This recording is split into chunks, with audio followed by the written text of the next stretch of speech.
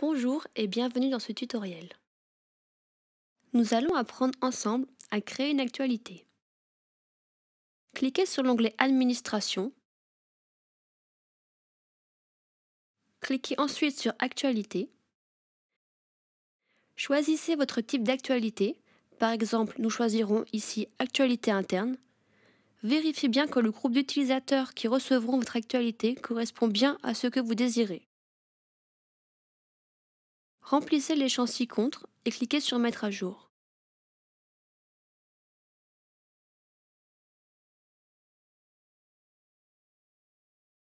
Votre actualité apparaît correctement sur votre interface ainsi que sur celle de vos collaborateurs.